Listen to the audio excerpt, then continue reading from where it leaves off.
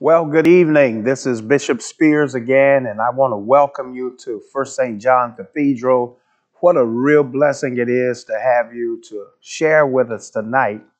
Um, I'm just really excited about uh, this word tonight. I'm really praying even now that God will grant patience in my teaching. I'm so excited about the word that I want to make sure that we get to the truth and that the word of God blesses you in such an amazing way. So let's have a word of prayer and uh, we'll get started. Father in heaven, how we bless you and praise you, God, for uh, this time that you've given us to share your word. I pray and I ask, oh Lord, for your fresh anointing. I pray, Holy Spirit, that you will empower me and enable me uh, to teach this word and cause people uh, in the body of Christ to grow spiritually.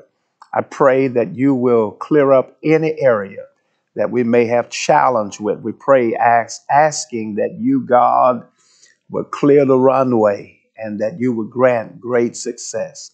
Bless every person that's connected tonight. We love you and praise you in Jesus' name. Amen and amen. Well, listen, I want to thank you again. As I said, what a real blessing it is to have you to share with us. Um, it is always such a blessing on both Monday night and Wednesday night. As a matter of fact, uh, as, as you've been following us, we've been doing something a little different. So on Monday, I normally preach, uh, teach from the text that I preach from on Monday. Um, the word of God was just so good on Monday that I'm going to labor in the same vineyard again tonight out of Hebrews. That's just so much word that I want to release, and I pray that you're being blessed by it. Uh, before we close out tonight, I'm going to share some great and uh, uh, exciting information with you. I think that you will be blessed by as well. Go ahead and tag and share and encourage others to come on board and share with us. So turn with me again, if you will, to Hebrews chapter 11. Uh, tonight I am I'm picking up verse 7 uh, verse 7, the Bible says, uh, By faith, Noah, when warned about things not yet seen, in holy fear, built an ark to save his family. By his faith, he condemned the world and became heir of the righteousness that is in keeping with faith. By faith, Abraham, when called to go to a place he would later receive as his inheritance, obeyed and went, even though he did not know where he was going. By faith, he made his home in the promised land like a stranger in a foreign country. He lived in tents, as did Isaac and Jacob, who were heirs with him of the same promise. For he was looking forward uh, to the city with foundations, whose architect and builder is God. Finally, and by faith, even Sarah, who was uh, past childbearing age, was en- enabled to bear children because she considered him faithful who had promised, who had made the promise. And so from this one man, and he as good as dead came descendants as numerous as the stars in the sky and as countless as the sand on the seashores. Amen and amen. I want to really dig in tonight, and as a matter of fact, again, we're looking at Hebrews chapter 11 I opened on Monday night really by sharing with you that we are in a place or a season where God is saying to us that we've been called to persevere, uh, but to persevere in our faith. Uh, that that word persevere has to do with we we've been called to tolerate. we've been called to endure uh, to do our very level best to hold on to what we have. And sometimes uh, when you look at the word persevere, it has to do with what we've got to go through in order to maintain our standard in terms of the Word of God or hold on to the promises that God has given us. So he says we are called to persevere. Uh, but then, secondly, I shared with you because uh, we've been talking about this month, this month in October. Uh, as a matter of fact, we've been talking about how faith has to be in action. And uh, it says faith has to be moving. In action means that it's not standing still, it is active and it's moving in a direction. And so I want to encourage you tonight because I really believe that if you and I become stronger faith people, in other words, we build such a, a, a power on the inside uh, that we we have strong faith. We have faith about uh, those things that seem to be impossible. God is able to do exceedingly abundantly beyond anything we could ever imagine. And so when you look primarily, particularly at verse 7, the Bible says, By faith, Noah, when warned about things not yet seen, in holy fear, built an ark to save his family. By his faith, he condemned the world and became heir of the righteousness that is in keeping with faith. That God, because of Noah's uh, obedience, because of Noah's responsibility of, following God's lead or God's instruction, uh, began to build the ark uh, based upon what God said. And I think that you will remember uh, that we live in what the Bible calls a speaking society.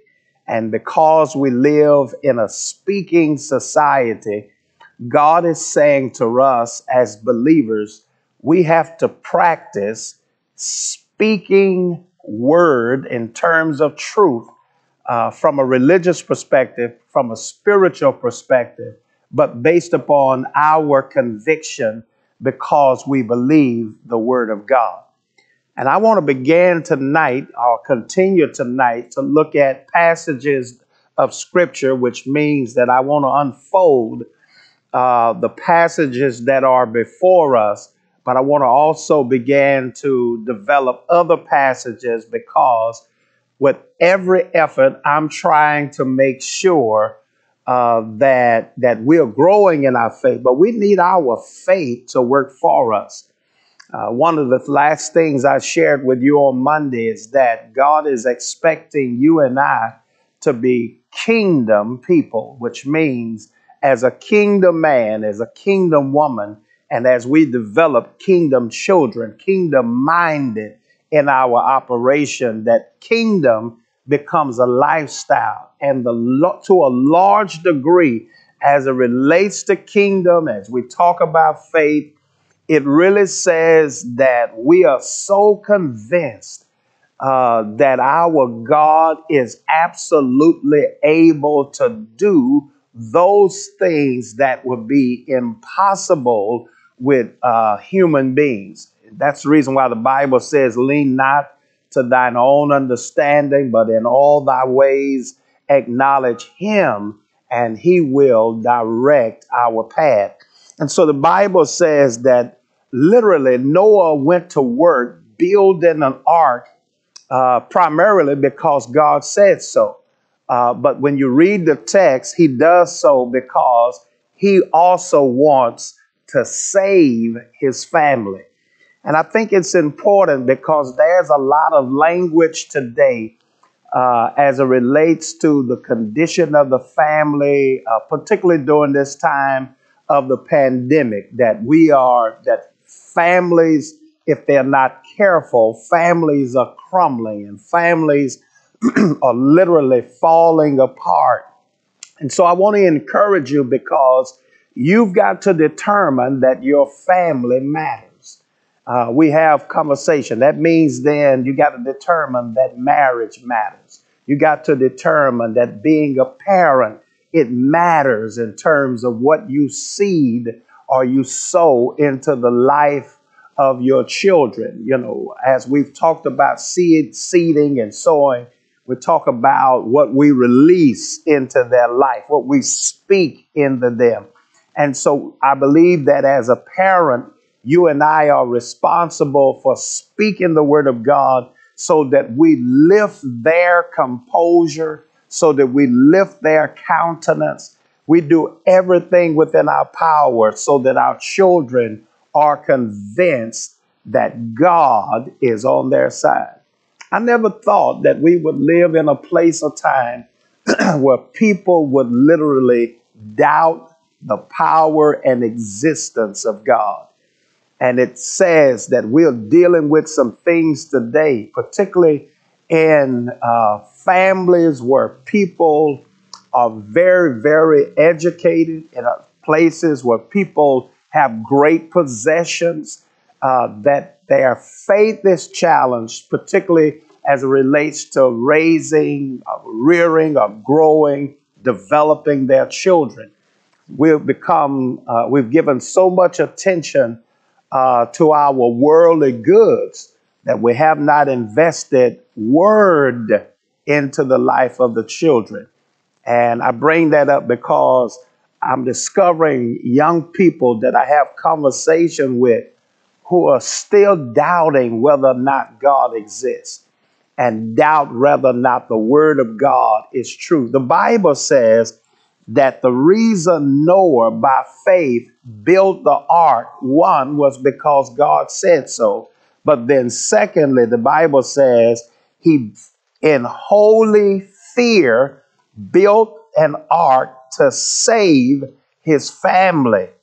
By his faith, he condemned the world and became heir of the righteousness that is in keeping uh, with faith. So that that if we're going to sustain family, if we're going to do everything we can as a glue to hold our families together, uh, child of God, we've got to begin to release faith in the ears of our children. We got to release faith so that in their eyes they're able to see what what this idea of now faith is the substance of things hoped for and the evidence of things not seeing what it really looks like. Because we've got to begin to move them into a place where they too are also trusting God to do some supernatural things. One of the things I've discovered, even as a father, even as both Kenneth and Kyle, who are sons, uh, journey in terms of moving in the direction of what their desires are as it relates for a working career, as they have uh, and are moving toward a more, uh, in terms of academically preparing.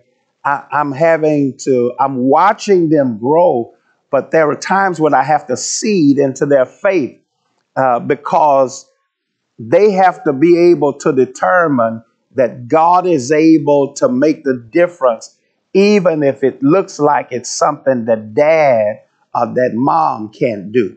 And I want to encourage you because you ought to love your children enough, you ought to love your family enough uh, to leave them as an inheritance uh, money, leave them as an inheritance land, leave them as an inheritance property in terms of material goods. But can I share with you tonight that the best inheritance that you can provide for your child, for your children, for your grandchildren is the Word of God and a faith that they can attach themselves to so that if you and I are no longer here, they still have God, they still have the Lord Jesus, they still have the Holy Spirit, and they still have the Word of God. The Bible says Noah made a choice and a decision to obey God to build the ark, which meant that he had to be productive in the process of building an ark, but he made a choice to do so because he loved his family and by faith he wanted to save his family. In keeping with that, the, next line of verse, and I want I want you to follow me tonight because the Bible says by faith Abraham, when God called him to go to a place he would later receive as his inheritance, he obeyed and went, even though he did not know where he was going. And if we really clearly understand how faith works, faith is not just there to produce uh, or to manifest things in terms of material goods, but it is a blind trust. faith is a blind trust. Say it one more time. Faith is a blind trust. It's a blind trust because we are following God even when there are not clear directions on where we're going. It just says that we move in, in, in, in, in sync with God because we trust God's voice, we trust God's vision, we trust the value that God have in us as human beings, but the value that he has in us as Christian believers that that we will follow his word, that we will do what the word of God says. And the Bible says that it wasn't really clear on where Abraham was going, but he was convinced that what God said was the word of God. And so he had blind trust. He began to walk with God, going to a place that God said you will go and you will receive as an inheritance. You will live in a place that is the promised land. And the Bible says Abraham really doesn't know where he's going, but he trusts the voice of God. And I'm trying to convince you because I do want you to live well. I want you to be able to wear well, drive well. I want the blessing of God to be on your life. That means then, as a believer, you're going to have to have blind trust. Somebody need to tweet that. Somebody need to send that as a word to someone who's about to give up on life, who's been thinking about quitting and who's been thinking about walking away from the church and walking away from people who love you, who pray for you. We are in a season where we've got to have blind trust. Blind trust says, I am following you on a path that's really undiscovered, but I'm discovering some things as I travel uh, because I trust the voice of God. I trust God's instructions. I trust God's direction that whatever He gives me to do through the aid of the Holy Spirit, through the reading of the Word of God, sometimes through the man or woman of God who is preaching the Word of God, then I'm following those directions. I'm not doing anything outside of that, but I'm doing everything inside of that because I want the blessings of God to rest on my life. I'm getting happy right now because I want the blessings of God to rest on my life. I'm talking about when the blessings of God rest on your life because of your blind trust in a holy God God will begin to do some stuff for you you didn't even pray about. God will begin to open up some doors for you you didn't even ask Him for, but because of your blind trust, God determines to do something on your behalf to bless you in a way that is unimaginable, uh, that was outside of your sight in terms of vision it was outside of your hearing in terms of what you were able to detect eh, because of sound. God says, I'm going to bless you and I'm going to bless you in a way so that you know that it was nobody but God. You can't give any glory to anybody else. You got to give it to God. As a matter of fact, even while I'm talking to you, I'm praying because I'm praising God uh, because He will do some stuff in your life you didn't prepare for. And Abraham is in a space, and the Bible says God leads, leads him as a stranger in a foreign country. He lived in tents, and as did Isaac and Jacob, uh, who were heirs with him of the same promise, for he was looking forward to the city with the foundations whose maker or architect or builder is God. And so when you operate like that, all I'm really trying to suggest is that that we begin to move into a place we are preserving our faith. We are holding on to our faith during this time of pandemic, but our faith is in action so that God is moving us in a place uh, during a place and time. What it really says is that God has the ability and the capacity to make stuff happen even when the world seems to be standing still. Man, I'm preaching tonight. because when your world, that's what is really powerful, when it looks like your world is standing still. When I say your world, see, sometimes we get caught up in just what the world, what the world is experiencing. We are experiencing now this COVID 19. We're experiencing now in terms of uh, the political process. Uh, they're even talking about these dangerous wasp or bees that have come in uh, that are deadly, uh, pestilence that are uh, in the airways. We're talking about all of these things. And so when I began today, as a matter of fact, the driving force for my teaching tonight has much to do with the fact I woke up this morning and uh, I was watching Channel 8 News, and as they talked about, they did a survey. They talked about are these times causing you to have anxiety? Or where we are, and they said to a large degree, the, the numbers began to move from 77% uh, to 20% or 23% in terms of people who voted yes uh, politics has me anxious. I'm in a place of anxiety because of my personal problems. I'm in a place of anxiety because of what's happening in the world, what's happening in the world at large. But what the survey didn't ask, because it was centered upon what's going on in the world at large. But you and I have a personal world We've got some things that are happening that are occurring in our own life. And God is saying, I want to ease the anxiety. I want to move you away from fear. I want to take away worry, he says, if you can begin to trust me blindly. In other words, I'm following God with blind trust. It means that I have blinders on my eyes but I'm trusting God. You remember the Bible says this word about the man who was born blind and he's sitting by the side of the road.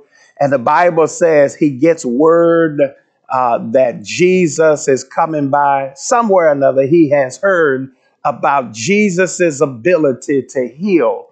And the Bible gives this word that the only way that he's able to detect that Jesus is near is because he's able to distinguish his voice. And I'm saying to you in this season that if all we have is the ability to distinguish the voice of God, which means we can't lay our eyes on him.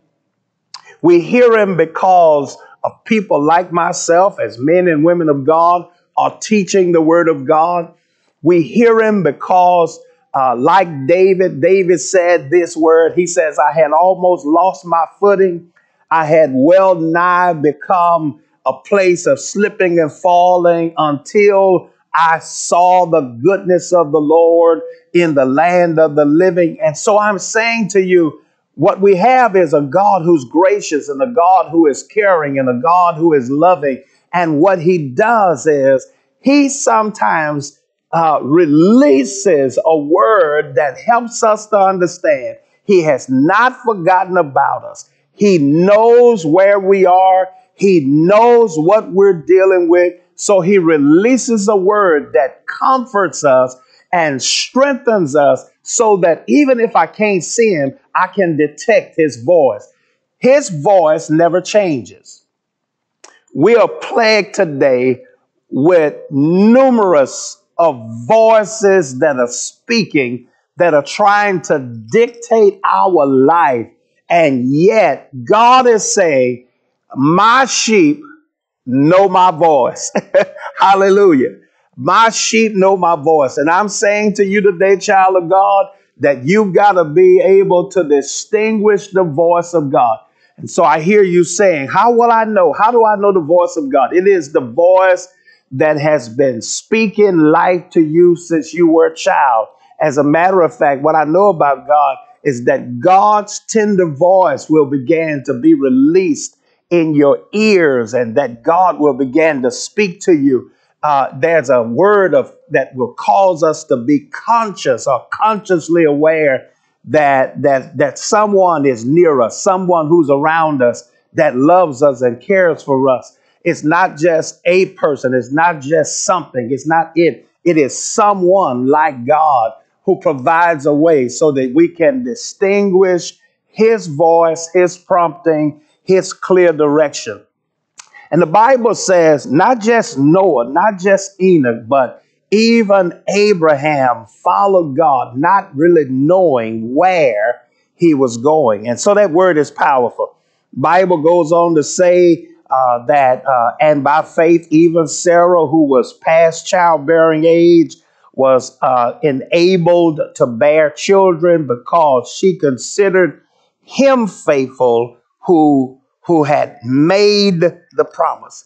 So when I started praying about this text, and I'm I'm real sensitive to this area, I often often pray whenever there is a place when God is leading me uh, to deal with uh, a text, particularly around uh, this area about childbearing and and women who have whatever difficulty in terms of bearing. I'm always real careful. You notice my voice just changed because I'm really sensitive in this area. I never ever want to uh, build a message that's going to injure anybody. Uh, everything that I'm saying, I want with every effort to build you up or to increase. The value of what Sarah heard was that she heard the voice of God. The text says she considered him faithful. She never looked at the condition of her body. She never looked at the circumstances that she was dealing with, particularly as a woman. What she did was she placed value in him who's faithful. And I want to encourage you because that's a word that God is saying, not just to females, that's a word that God is saying to men that we've got to consider Him who's faithful. That if we can lock in on our blind trust in terms of following God, His voice, and His clear directions, we've got to consider Him who's faithful. I keep saying it because I want you to get that down in your eardrums. I want you to get that word in your mind to be clear. And I want you to get that word to begin to manifest in your belly that you got to consider Him to be faithful. You got to consider God to be faithful and that you believe in the promise that God has made. Because the truth of the matter is, it may not be just a, a female or an individual who is struggling with childbirth, what, what it really says is that if you consider him who's faithful, him who is faithful can help you with, with uh, addictions. Him, him who is faithful in terms of God can help you with uh, mental struggles. Him who is faithful, God, if you believe, believe in what he says, the promises of God God can do some things in your life that can completely change your direction and move you into a spot of place. If you believe that that He, God, is faithful. And sometimes you got to hold on to the promise. You remember when we were children, some of you remember this, uh, particularly if you've grown up in church, they used to tell us about uh, uh, that if you at the end of the road and you have a rope in your hand, tie a knot in the rope and hold on. And God is saying that today in this season, that we've got to believe that He, God, who is faithful, and whatever promise He has made, God is able to cause it to come into manifestation. You got to believe God that He's faithful, that He's able to do, there it is, exceedingly abundantly beyond anything you could ever imagine. The Bible says if you believe that He is faithful, God, because He is faithful, bills can be paid. If He is faithful, He can provide a protection around your children. If He who is faithful, and He is, He can provide protection around you. As a matter of fact, that's some stuff that I'm believing God for right now.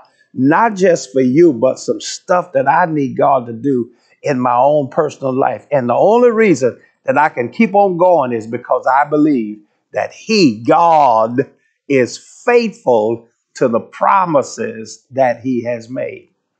Let me just move. In fact, go back with me, if you will, to Luke. Uh, man, it's just so many different uh, uh, awesome pieces in the Word of God, particularly uh, as it relates to uh, Luke. Uh, I mean, it's just powerful, powerful what what the Lord can do. As a matter of fact, uh, Luke chapter 17, and uh, I want to read for our hearing verse number five.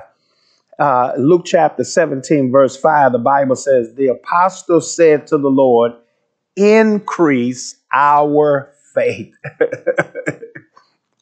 because what God is looking for in this season is that He needs He needs people of faith. So watch this. If if if there is a struggle, if there is a struggle with what I'm saying about God and what I'm saying God is able to do, then your prayer or your prayer request is that God will increase your faith. You know, there has to be a place of time when you begin to say, God, I hear the word of God, but I don't have that level of faith. And I'm praying right now that you will increase my faith. The Bible says that the that the apostle said to him, Lord, increase my faith. Secondly, I want to encourage you. Uh, chapter 18, verse 8 is powerful. Uh, the Bible says, I tell you, he will see that uh, that they get their justice and quickly. However, when the Son of Man comes, will he find faith on the earth? And so I'm really trying to encourage you because I believe that what God wants, He wants the child of God, the children of God, those of us that are preserving our faith, that are walk, walking in action in terms of our faith. He needs our faith to increase. But when He returns, He's coming after a people of faith. I don't want to be left behind. I don't want to be left uh, without a witness that my faith does not work because I believe that my faith works. And the Bible says that it's real important to God uh, that that the children of God believe uh, that faith does exist. As a matter of fact, you know when you look at um, um, uh, Act, uh, Luke chapter nine, uh, verse number thirty-seven. I'm moving tonight. You got to follow me. Luke chapter 9, verse 37. And so the Bible says the next day when they came down from the mountain, a large crowd met him. A man in the crowd called out, Teacher, I beg you to look at my son, for he is my only child.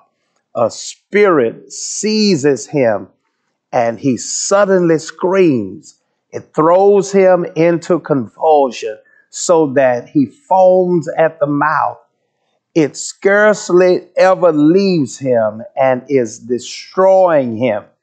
I beg your disciples to drive it out, but they could not. Jesus then says, You unbelieving and perverse generation. Uh, Jesus replied, How long shall I stay with you and put up with you?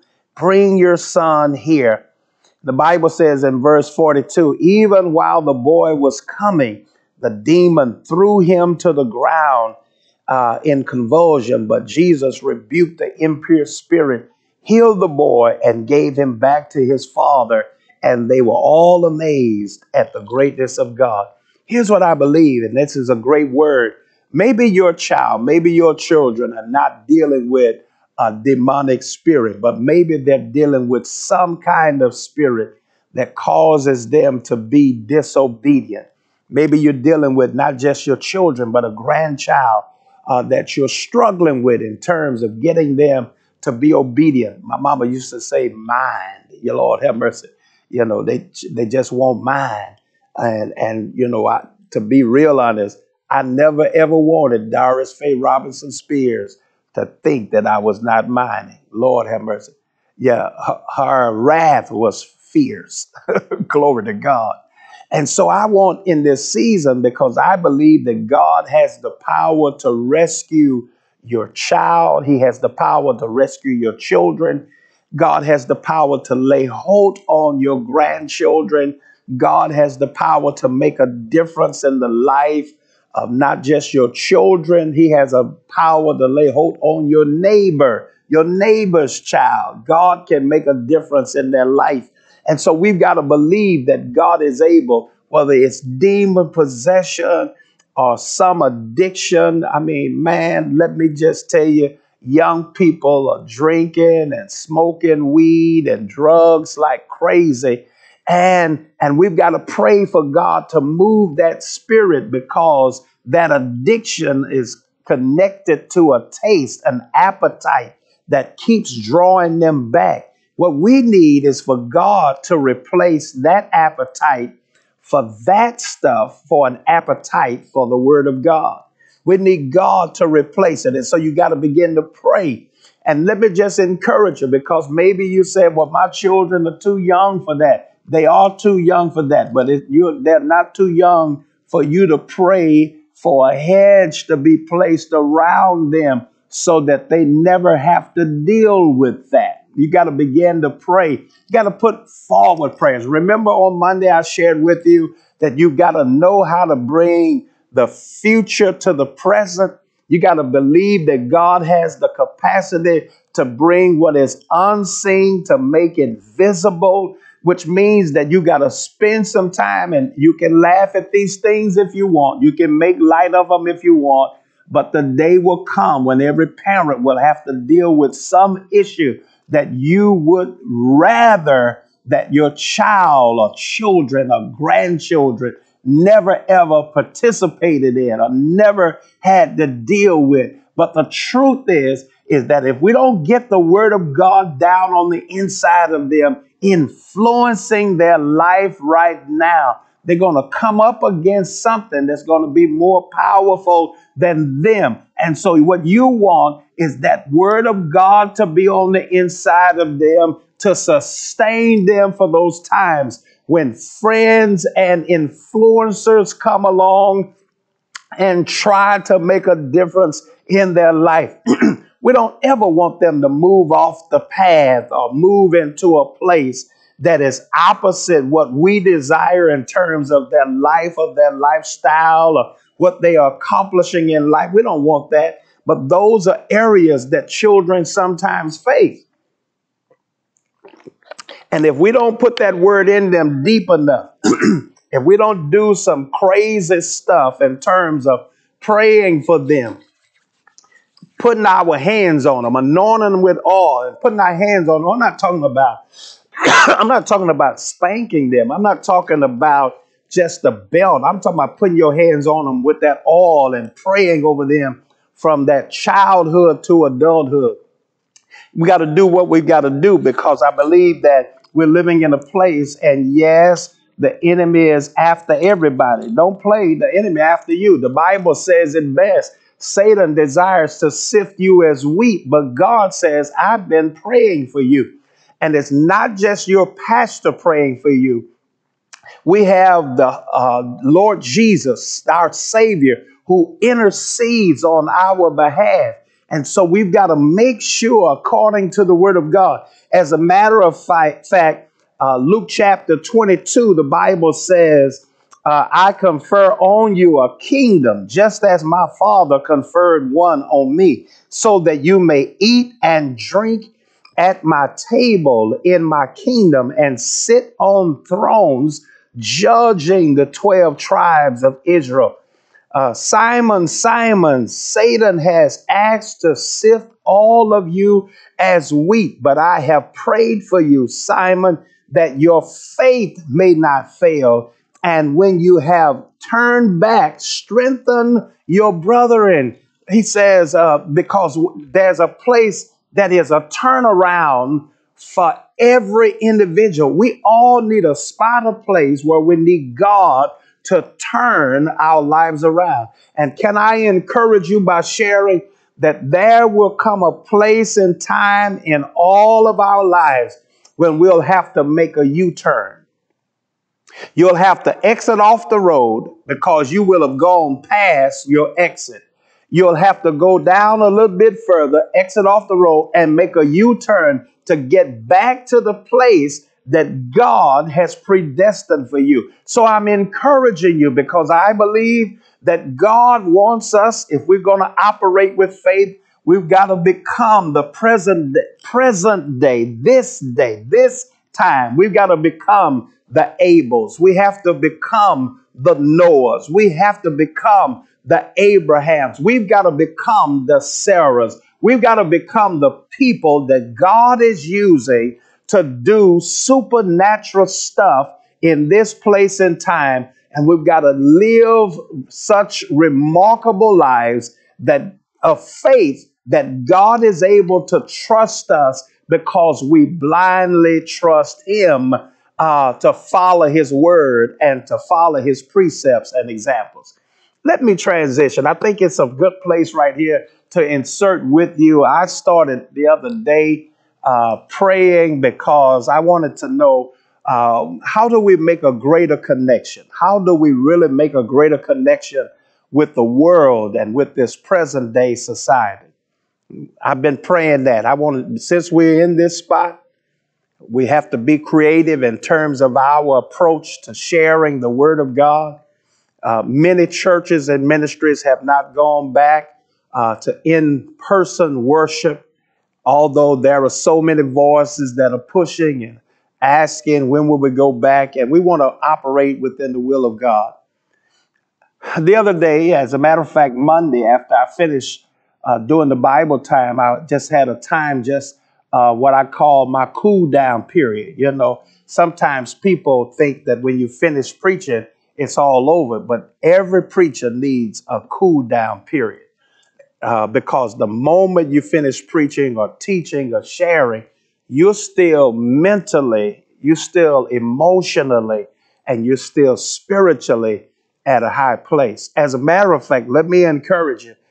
It takes so much time to get your mind and heart ready to teach the word or handle the word of God or to even do the things of God uh, this is not just a byproduct, you know, you just pass by, do it. No, there's a preparation time. And so, because that we are so ingrained in terms of preparing both to preach and to teach the word, it becomes difficult to just turn that off when you get through. The, the teaching uh, may be over, the benediction may have been given, uh, but spiritually, your motors are still turning you're still operating at the height.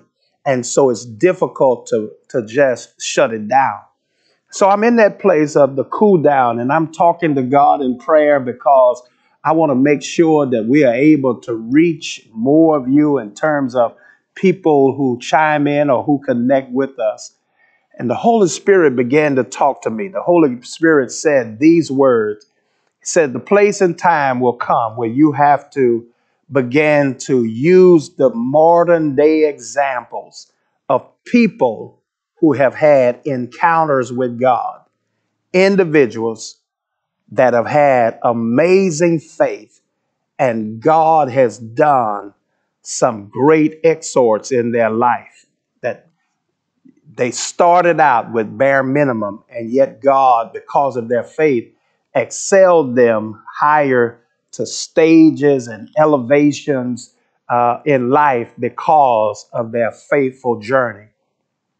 And the Lord said to me, and we're going to begin to move in that direction, that take that creative approach uh, that the team, uh, staff, and the media team uh, did with you during the time of the pastoral celebration and began to bring people up close and personal in terms of interviewing and sharing with individuals who have some amazing stories. And so I want to encourage you because there are some of you who are watching tonight, some of you that God has done some exceptional things in your life. And there are people really who will be strengthened because of your story. Now, listen, I'm not talking about just bringing you on and talking, spending time with me in this studio uh, format to just testify. We need to hear your story of what God has done in your life. And so I want to begin to create a pathway so that we will begin over the end of this week, going into next week, and potentially next Wednesday, I'll have a special guest on that we'll get up and close and personal with who will share with us uh, how they got to where they are, what God did, what the Lord said, what God said to present day Abraham or present day Sarah, what God said to Noah, to the present day Noah, or the present day Abel, who worshiped different, Enoch, who walks different, uh, uh, those individuals who have done great extorts in terms of what God has done in their life. I believe that it's going to be a blessing to the body of Christ. God has already assured me that there are some present day people that He has used and He has spoken to. Some of them have done well academically, some of them have made amazing choices financially, some of them have done some great things in terms of God healing their bodies I mean, they had perhaps the worst situation going on, but they gave their heart to God. They began to be clear and attentive to what God was saying, and the Lord began to take them on a journey, and they are who they are now. Uh, as a matter of fact, there's a little tag that people are sharing now. We are who we are. we are who we are when God has full access over our life. And I believe that God is going to use this, this method, this format to bring people closer to God. Because if you can hear of a, a seven or eight year old, or a 12 year old, 15 year old, 20 year old, 30 year old, 40 year old, 60, 70 year old person talk about what God did, it's going to bless your heart and it's going to create the dynamic so that you begin also to move in the direction of God, that God is increasing your faith. You got to believe that I'm hearing from God and God is doing some amazing things. And so I'll share with you. Look forward to a special guest that will be with us on next Wednesday and look forward to the things that God is about to do. I believe it as I prepare to close. Eyes have not seen, ears have not heard neither has it entered into the hearts of men the things that God has prepared for us. And so I want to encourage you. God bless you and keep you. Let me encourage you also. I think that finally, there ought to be a place and time in midweek worship. As a matter of fact, as we have functioned as a church and a ministry, uh, we've done Bible study on Monday, Bible study on Wednesday, and in those varied services, we had opportunities to give. And I want to begin to challenge you and encourage you uh, that although we are not in person worshiping, we are still in the presence of the Lord. And it does require giving in order to stay afloat and to function. And we're excited about what God is doing, what God has done, particularly with just our giving on Sundays. But I want to begin to encourage you as if we were in person worship, that you will begin to sow or to seed or to give into this ministry. Yes, on Mondays, on Wednesdays, on times that we come before you, because it takes resources to function and operate. I will encourage you, we will have special guests coming throughout this week. I'll give you more details about that. Man, God is doing some amazing things it's so powerful that the moment I hang up the phone, the phone begins to ring again. And it's another exciting promise. And so I'll share those with you. Sometimes I'm limited, but you kind of got to figure. You kind of got your eye on this thing. You know me well enough to know that something is, is happening and it's amazing. Keep your eyes open for Friday. Oh my God, we're going to be blessed. God bless you. The Lord bless you and keep you. The Lord make his face to shine upon you, be gracious to you. And I pray that God will bless us with an amazing peace. God bless you and keep you until we meet again the next time.